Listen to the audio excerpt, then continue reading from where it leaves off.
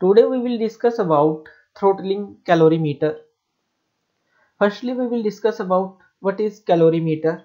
We know that calorimeter is an object for measuring the heat capacity of the chemical reaction.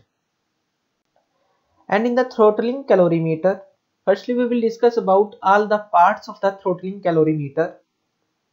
We have a outer chamber and inner chamber with connecting pipe this is the sampling tube for transfer steam to the inner chamber.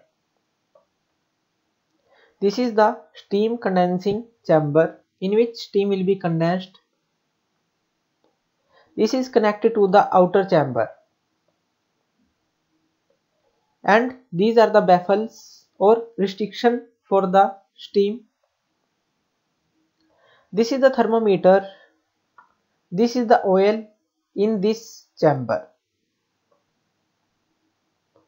This is the throttle valve or orifice from which steam will be throttled and passed to the inner chamber of the throttling calorimeter. This is the pressure gauge for measuring pressure of the steam before going to throttle valve. Now we see the working of throttling calorimeter.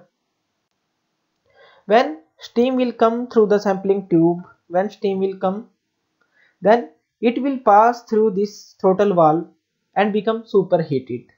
And this superheated steam will go to the inner chamber of the throttling calorimeter.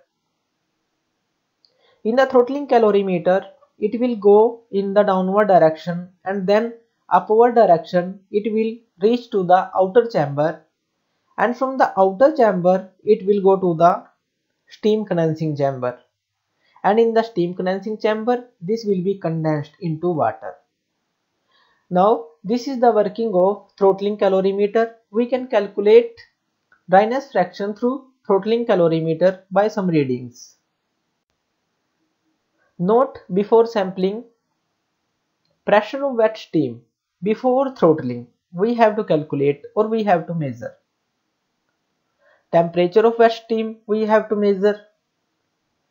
And for after sampling of the wet steam steam will be superheated. So pressure of the superheated steam will be calculated and temperature of the superheated steam will be calculated.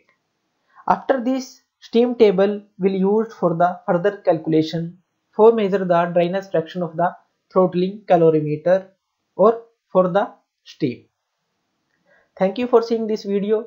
For more updated videos, you can subscribe me on my channel Learn and Grow. Thank you.